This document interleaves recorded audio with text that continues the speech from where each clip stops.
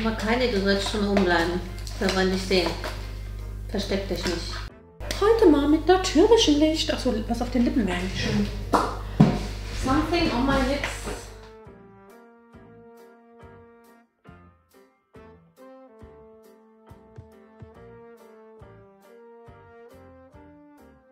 Hallo Hallöle und herzlich willkommen zu diesem Video. Mein Name ist Saskia und ich freue mich sehr, dass du dich hierher verirrt hast. Ich habe heute für dich, ohne große Schnackeln, ohne große Schnackeln, die neue Install-Box, die vierteljährig erscheint, also alle drei Monate. Äh, ich habe sie im Jahresabo, bezahle so nur 25 Euro pro Box. Also ich habe genau 100 Euro, glaube ich, im Abo bezahlt, wenn ich mich nicht irre. Ähm, ich glaube, ihr könnt sie aber auch im monatlichen oder im äh, sechs Monaten, also halbjährigen Abo ähm, holen. Ich glaube, wenn ihr sie monatlich holt, zahlt ihr 30 Euro. Schreibe ich euch hin, was das Monatsabo kostet. Ähm, hier hin. Genau, und äh, die Instabox ist eine meiner Beautyboxen, die ja auch auf dem Kanal hier erstmal bleiben wird, zumindest das Jahr über, weil das wie gesagt ein Jahresabo ist, das läuft noch bis Dezember, dann würde es sich erneuern und dann werde ich mir Richtung Dezember überlegen, ob ich es dann ähm, ja, weiterführe oder nicht. Und ähm, die hat immer einen ganz schönen Warenwert. Wir haben hier auch ähm, ganz ja, niedliche Produkte, kommt im selben Stil wie äh, ja, eigentlich so gut wie jede Beautybox. Und ich muss zugeben, ich habe schon reingeguckt, weil sie liegt schon seit vorgestern bei mir. Ähm, ich wollte eigentlich gestern drehen, aber wenn ihr mir auf Instagram folgt, wisst ihr das tatsächlich. Äh, gestern war Mittwoch und ich hatte am Dienstagabend meine Wurzelspitzen, äh, nicht Wurzelspitzenresektion, Gott sei Dank noch nicht, aber eine Wurzelbehandlung und die hat mich am Mittwoch komplett ausgenockt, weil der Zahn noch richtig wehgetan hat. Ja, ähm, und deswegen ich, komme ich heute erst zum Drehen. Wir haben die Summer Edition. Ich habe, wie gesagt, deswegen aber schnell ein bisschen reingeguckt. Und was ich schon gesehen habe, gefällt mir tatsächlich sehr, sehr gut. Und wir starten erstmal mit dem äh, Editorial. Und ich lese vor. Liebe Insta-Fans, stellen Sie sich folgendes Szenario vor. Hochsommer, flirrende Hitze, die Sonne senkt sich bereits, die Temperaturen aber nicht. Sie sitzen bei, kühlen, bei einem kühlen Drink draußen, ob auf dem heimischen Balkon, der ist noch nicht fertig, auf der Terrasse des Lieblingsitalieners oder eine, an einer Strandbar im Urlaub. Leichtigkeit und Ferienstimmung schwirren in der Luft. Auf ihrer gebräunten Haut schimmern die Permut Coins ihres neuen goldenen Lieblingsschmuckstücks von Purely in zarten Regenbogenfarben, was Ihnen ein Lächeln auf die Lippen im angesagten New-Ton dank des Lipkits von Beauty Queen Kylie Jenner zaubert. Zur Erfrischung geben Sie auf Ihr Gesicht das feuchtigkeitsspendende Spray von Sassy Beauty, das dezent nach Rosenblüten düftet. Sehen Sie es vor sich? Wunderbar. Denn all diese Zutaten und noch viel mehr finden Sie in unserer Sommerbox. Nur für den Drink müssen Sie, nur den Drink müssen Sie sich selbst besorgen. Wir wünschen Ihnen einen traumhaft schönen Sommer, wo auch immer Sie ihn verbringen. Ja, und das hat uns Sophie Grünzer, die Chefredakteurin, geschrieben. Ähm, danke, Sophie. ähm, ja, ein schönes Motto. Also genau das finde ich, wo, was man sich so in den Sommer tatsächlich vorstellt. Ne? Und Kylie Jenner finde ich ziemlich cool, auch dass es halt natürlich dekorative Kosmetik ist. Wir haben immer so ein ähm, ja, Gutscheinheft drin. Mhm, kriegen wir jetzt zur Seite. Und dann gucken wir hier rein. Und ich fange mal mit Pure Light tatsächlich an. Das ist eine ähm, ja, Schmuckmarke, die ich zum Beispiel teilweise gerade auch trage. Also die Kette mit dem Stein und die Ohrringe sind definitiv von Pure Life. Ich glaube, der Rest ist von iCrush. Das ist quasi eine Alternativmarke. Äh, beides gibt es fast nur online. Ähm, ich hatte den iCrush Adventskalender und das Pure Life Abo. Bei beiden verlinke ich euch mal eine, ähm, also für die Abos verlinke ich euch äh, mal oben im i äh, die Playlist dazu.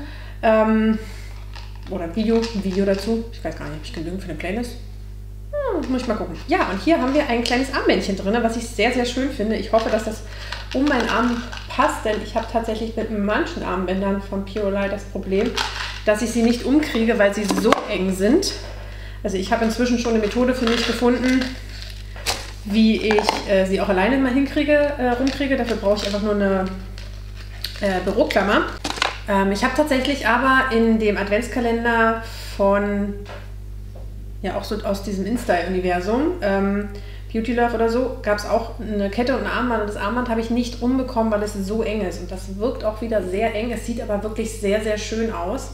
Das muss man sagen. Wir haben so kleine goldene ja, Permut, würde ich sagen, soll das sein. Ähm, ich glaube, das wird wieder so eine Schwierigkeit für mich werden, das alleine umzukriegen. Ich finde es per se sehr, sehr schön. Aber wie gesagt, wenn es zu eng ist, dann wird es nicht für mich. Wir haben hier 1, 2, 3, 4, 5 Steinchen dran und immer das typische Pure Lime äh, ähm, ja, äh, Kettchen, Anhängerchen. Ja, und äh, tatsächlich auch mal einen ganz schönen Verschluss. Manchmal sind die Verschlüsse so filigran, dass ich gar nicht zurechtkomme. Ah, ja, das wird eng beim Zusammenlegen. Naja, werde ich mal ausprobieren und euch dann eventuell einfach mal hier oben reinschreiben, wie gut ich damit zurechtgekommen bin. Grundsätzlich finde ich es aber eine schöne Sache. Ähm, Ketten habe ich auch tatsächlich sehr, sehr viele. Ich weiß nicht, ob ein Armband für jeden was ist ähm, oder ob Ohrringe was gewesen, was, ob ich Ohrringe besser gefunden hätte. Vielleicht, so als Stecker hätte ich die, glaube ich, auch schön gefunden. Ähm, andererseits kann man dann auch sagen, ja gut, Ohrringe ähm, hat auch nicht jeder Ohrlöcher. Wir gucken mal rein, was uns das Heftchen dazu sagt. Preise versuche ich euch natürlich zu ermitteln. In der Regel liegt, glaube ich, so bei Armkettchen das so bei 15 bis 20 Euro bei Pure Light. Ähm, das ist die White Gloss Kette, beziehungsweise man hätte auch ein, also ich habe das Armband, man hätte offensichtlich auch eine Kette dazu kriegen können. Ähm, genau, hübsche schimmernde Permut Coins für sommerliche Styles, genau, in Kombination mit T-Shirt, Sommerkleid oder elegante Bluse oder zum Bikini. Ähm, Wasserfestes von Hawaii, äh, Aloha Vibes wird hier mal äh, gewählt, genau. Äh, Pure Light hat auch dieses Aloha-Motto so ein bisschen verinnerlicht ähm, und ähm, Wasserfest, das muss ich wirklich sagen, ich trage ja einiges, also von beiden, auch, auch iCrush ist so, ähm, ist wirklich schön. Ich finde ein bisschen schade, dass ich nicht beides drin habe, ich kleine, ähm, äh, ja, Schmuck-Elster, die ich nun mal bin ähm, weil ich glaube, die Kette an sich hätte mir auch gut gefallen. Hier steht unten auch extra nochmal eine Variante in der Box und das ist das Highlight an Accessoires. Ja. So, das nächste Produkt haben wir gleich hier auf der anderen Seite. Äh, Let Me Glow, ein Illuminating Serum von ähm, Case, Keys, Keys Soulcare. So sieht das aus. Ähm, ah, von Alicia Key, ah cool. Äh, Alicia Keys Glow mit den neuen Keys Sulca Illuminating Serum. Ähm, das ist mit staatlich geprüften Dermatologen. Ein feuchtigkeitsspendendes, aufhellendes, warum aufhellend? Ich brauche kein aufhellendes, grundierendes Serum für ein Glow entwickelt. Antioxidatives Rosenwasser spendet Feuchtigkeit und regeneriert trockene, fahle Haut, während Niacinamid den Teint sofort aufhält und ausgleicht. Das Serum verleiht einen Hauttypen einen warmen Glow und kann sowohl einzeln als auch als Make-up-Primer verwendet werden. Okay, schöne Idee. Ähm, wir gucken mal an, wie das von drinnen aussieht. Ich habe noch nie was von Alicia Keys tatsächlich gehabt. Ich wusste gar nicht, dass sie eine eigene Pflegematte hat. Ja, hier sind, how much is in it? 5, ja gut, 5 Milliliter kann man wahrscheinlich ein, zwei Mal, vielleicht dreimal, je nachdem wie reichhaltig das ist, äh, benutzen. Ist halt wirklich nur eine kleine Probe. Wenn das preislich wie die anderen, ich sag mal, Cele Celebrities-Marken ist, dann wird das auch ein bisschen teurer sein. Also grundsätzlich ganz schön. Ich bin ja ein großer Pflegeguru. Äh, wir haben passend zum Sommer und zum Urlaub eine kleine Travel Bag hier drin. Hier steht drauf Sunshine and Good Vibes. Ähm, ist eben natürlich durchsichtig mit einem Zipper. Genau das, wo man dann diese 100 Milliliter Flüssigkeiten reinmachen darf. Ähm, ja, finde ich grundsätzlich eine gute Idee. Weiß ich jetzt noch nicht, ob das bei mir bleiben wird oder ob ich das weitergebe. Aber die, die Idee dahinter ist natürlich ganz nett. Ich weiß nicht, ob das hier extra aufgelistet ist. Meine, ich glaube, wir wissen alle, was ein Travel Bag ist. Ähm, let's have a look.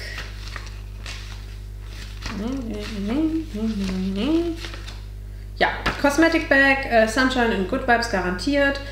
In der hübschen, äh, gut, hübsch ist sie nicht, Kosmetiktasche finden alle ihre Summer Essentials Platz, damit sie auch auf Reisen immer ihre, Beauty -liebsten, äh, ihre liebsten Beauty- und Pflegeprodukte griffbereit haben. Genau, äh, extra die Anforderungen für Handgepäck an Flughäfen und damit ideal zum Transport von Flüssigkeiten im Flugzeug. Das, was ich auch schon gesagt habe.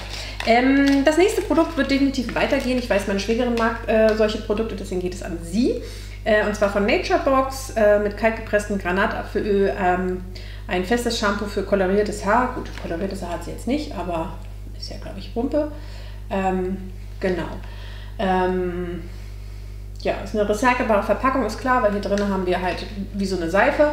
Ähm, und das ist außen hier nur ähm, Pappe, frei von Silikonen und Natur, äh, zertifizierte Naturkosmetik. Ja, dafür ist Naturebox ja, glaube ich, bekannt.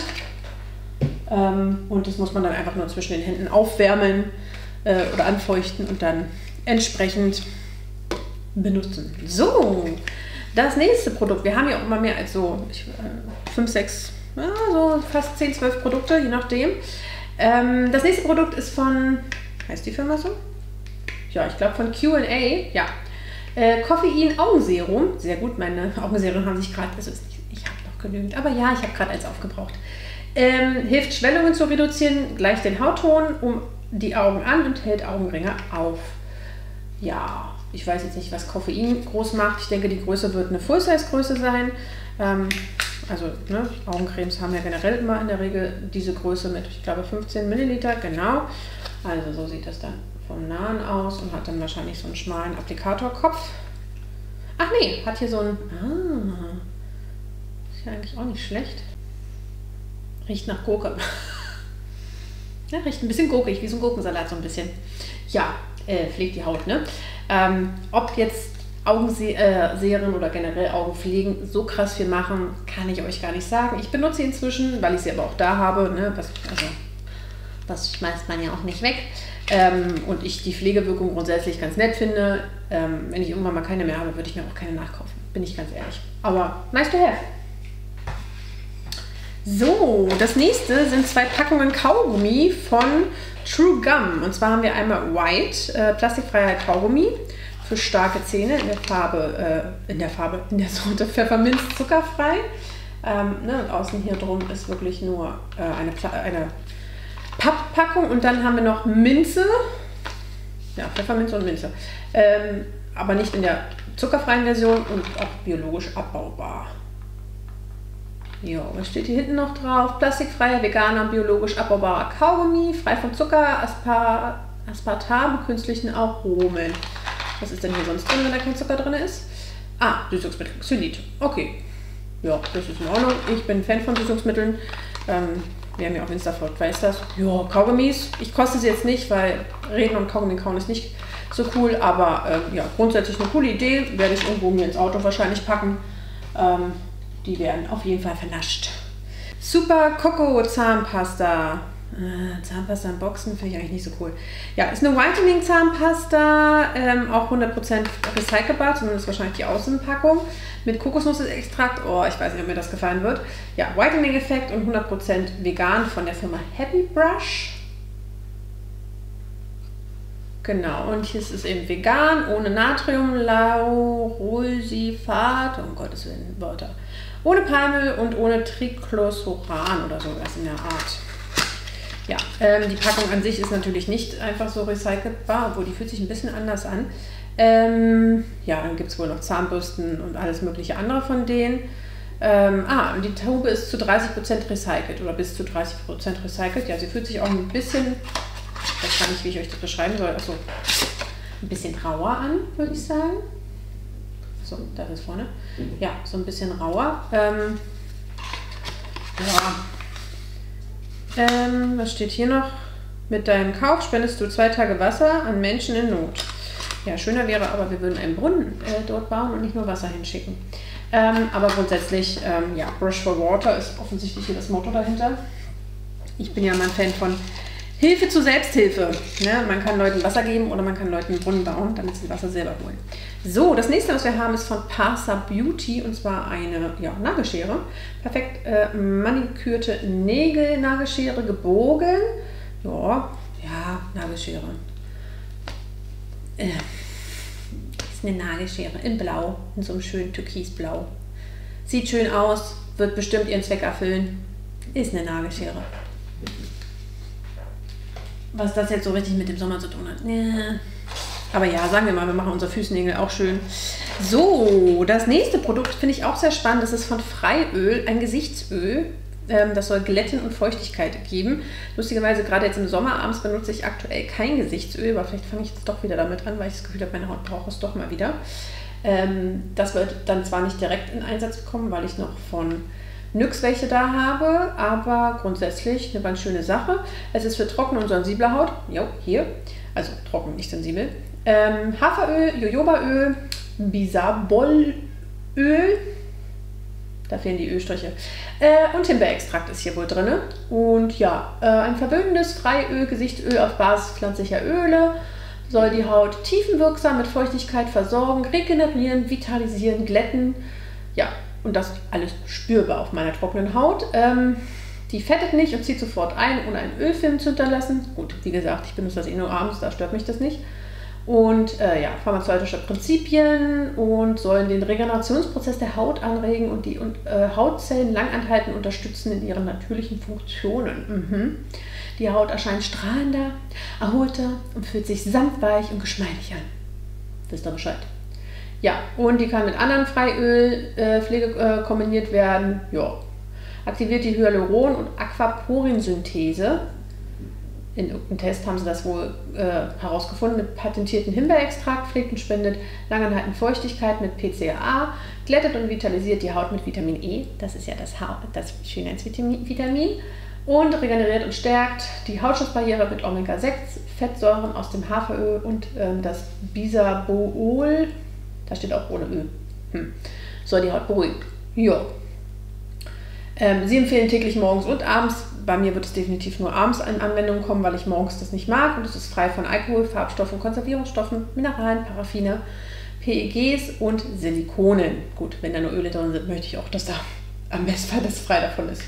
Ja, das finde ich wieder ein schönes Produkt ähm, und ähm, das sieht auch wieder nach einem Full-Size-Produkt aus, würde ich behaupten. Das ist das Fläschchen und wir haben eine kleine Pipette, das finde ich eigentlich auch ganz gut. Ähm, ja, und hier noch so ein Heftchen, was wir aber, glaube ich, nicht brauchen. Ja, so, jetzt zeige ich euch, ich zeige euch heute nicht, ne? Ähm, so sieht das Fläschchen aus. Ja, und hier sieht man, glaube ich, so ein bisschen, dass es eine Pipette ist. Ähm, Pipette finde ich auch eigentlich ganz gut, weil das muss ich sagen, die Nix, äh, die Nixöle kommen in so ein kleines Fläschchen, was halt das nicht hat. Und das finde ich persönlich ein bisschen doof zu dosieren. Und das kann man natürlich deutlich besser dosieren. So, jetzt kommen wir zu persönlich meinen Highlights. Das erste ist ein Fixing Spray, Hydrating Fixing Spray von Sassy Beauty. Sassy Beauty äh, steht dafür, dass sie ähm, versuchen, keinen Kleber zum Beispiel zu benutzen. Was heißt, kann, kann nicht versuchen. Die pa äh, Packung ist aus Pappe, also möglichst alles in ihren Produkten ist so pappfreundlich, umweltfreundlich wie möglich. Und das ist hier komplett gesteckt. Also ihr seht, hier steht Open hier. Und wenn wir das hier öffnen, dann wird sich das jetzt hier gleich so auseinanderfalten sagte sie und kriegt das nicht hin. Genau, dann faltet sich das hier so auseinander, dann so. Wartet mal, ich das jetzt so und so und da können wir es dann entnehmen. Genau. Da steht es auch nochmal Box ohne Klebstoff. Da, wie gesagt, darauf schwören sie, finde ich auch eine coole Idee. Ähm, das hier ist eine Glasflasche. Hier oben ist der einzige Plastikteil. Ähm, oh, das ist hier offensichtlich schon ein bisschen ausgelaufen. Wisst ihr, ich kann so ein bisschen was eigentlich vertragen. Wollen wir es mal testen? Wir gucken erstmal, wie der Sprühstoff ist.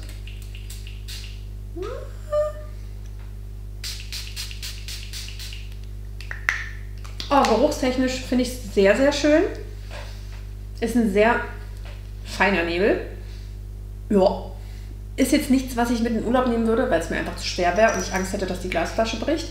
Ähm, dementsprechend die Szenerie, die sie so beschrieben haben, also ja, auf der Terrasse, auf dem Balkon, wenn er dann mal irgendwann fertig ist bei mir. Aber hey, ich habe jetzt schon gelbe Außenwände. Sieht nicht schön aus. Ja, ähm, Sassy Beauty. Ich habe von Sassy Beauty einen Primer, den habe ich allerdings noch nicht ausprobiert.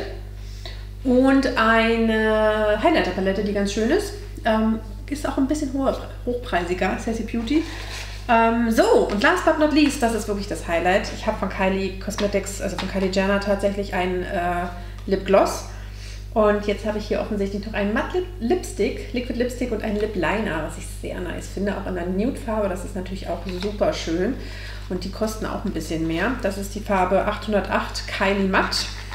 Also, das ist der Liner. Der ist aber sehr dunkel im Vergleich zum... Seht ihr das? Ja, wir swatchen mal. Okay, aber das ist ja wahrscheinlich so dieser Stil, den man da haben soll, dass die Außenlinie eben sehr stark ist und dann nach innen das so verblindet, weil der Liquid Lipstick ist halt deutlich, ja, Rosenholz eher, also rosaner, Rosenholz, ja, aber auch relativ dunkel. Ich weiß nicht, ob ich das so gut kombiniere, ob ich das gut finde in der Kombi. Ähm, aber ich glaube, wenn das dann so ein bisschen smatscht so zusammen, ich versuche das mal so ein bisschen ineinander zu verblenden, ja doch, könnte, könnte funktionieren. Aber so ganz meins ist es nicht. Also Lip Liner tatsächlich benutze ich auch bei Liquid Lipsticks selten, muss ich ganz ehrlich sagen. Ähm, sondern nur bei Lippenstiften eigentlich. Ähm, und selbst da nicht immer. Aber die Farbe finde ich tatsächlich sehr, sehr schön. Die ist richtig, richtig toll. Ähm, genau. Und ähm, ja, den Liner muss man mal gucken. Also er hat sich jetzt ein bisschen verblendet, aber so richtig, finde ich, harmonisieren tut das nicht. Also die Kombination finde ich ein bisschen weird. Das ist diesen Monat so ein bisschen die Celebrities ähm, Edition, ne? So ein bisschen. So. Ja, also Fixing Spray. Oh, mit, das Fixing Spray ist mit Provitamin B5, okay. Aber wir wollen doch Kylie. Wir wollen Kylie da. Ja, wir haben hier ein schönes Bild auf jeden Fall von der lieben Kylie. Ähm, ich weiß nicht, aber ich finde, der Ton, den ich drauf habe, wirkt anders als bei ihr auf den Lippen. Oder? Also der Braunton, den ihr außen hat, ist schön, aber ich finde, der Innenton wirkt ganz anders. Hm, muss man auf den Lippen dann wahrscheinlich mal sehen. Ja, also das ist wie gesagt der Nutrition 808 Kylie. Geheimwaffe für einen langanhaltenden matten Lippenlook. Ja, bei mir ja leider nicht. Ich bin sehr gespannt, wie da der Effekt ist und wie lange er hält. Also selbst die äh, Maybelline Superstay halten bei mir nicht lange. Ähm, ja, also soll man wirklich als Duo benutzen und ähm, also hier steht wirklich farblich passend, aber ich finde, naja gut, das ist dieser Stil mit dem Dunklen und so weiter. Werde ich sehen, ob mich das überzeugt. Ähm, es soll eine angenehme Textur haben und hochpigmentiert und vegane, eine hochpigmentierte und vegane Formel sein und soll bis zu 8 Stunden Halt versprechen. Ja, exklusiv bei Douglas erhältlich, das stimmt, da habe ich auch mein äh, Lipgloss her. Und ähm, die Rezeptur enthält keine Bestandteile äh, tierischen Ursprungs. Klar, weil vegan. Jo. So, dann sind wir durch. Das war's mit der Box. Was sagen wir? Grundsätzlich, es ist eine schöne Sommerbox. Ich weiß nicht, ob das Öl jetzt unbedingt so ein Sommerding ist. Das empfinde ich eher für Herbst, Winter, meinetwegen noch Frühling. Aber es soll ja offensichtlich so eine leichte Textur sein, dass man da das gut tatsächlich im Sommer benutzen kann. Äh, Lippi finde ich sehr spannend, äh, die Kombi. Ich sage mal so ein bisschen Flop-Produkt ist für mich die Schere. Die brauche ich nicht. Äh, ansonsten gefällt mir eigentlich alles grundsätzlich ganz gut. Es ist wieder eine schöne Box und ich finde es bei der Install-Box tatsächlich auch so schön, dass wir ähm, eben nur alle Vierteljahre was kriegen, also alle drei Monate. Ähm, und wir quasi nicht so überschwemmt werden. Klar, wenn die monatlich kommen würde, würde es auch deutlich weniger ähm, sein. Und wundert euch nicht wegen den unterschiedlichen Lichtverhältnissen. Die Sonne hat sich gerade verabschiedet. Und ich drehe mit natürlichem Licht. Das habt ihr aber, glaube ich, schon gemerkt. Ja, wenn euch dieses Video gefallen hat, würde ich mich sehr über einen Daumen nach oben und natürlich ein Abo auf, meinem Kanal freuen. Ansonsten würde ich mich auch freuen, wenn ihr auf Instagram folgt, wenn ihr Lust und Laune habt, ein bisschen hinter die Kulissen auch meines Lehreralltags zu gucken. Und ja, ansonsten verabschiede ich mich jetzt und verlinke euch hier mal meine Playlist mit den Unboxings. Hier geht es zu meinem Kanal zum Stöbern und hier findet ihr das letzte Video, was ich hochgeladen habe. Ich würde sagen, wir sehen uns ganz, ganz bald zum nächsten Video wieder. Bis dahin, bye bye!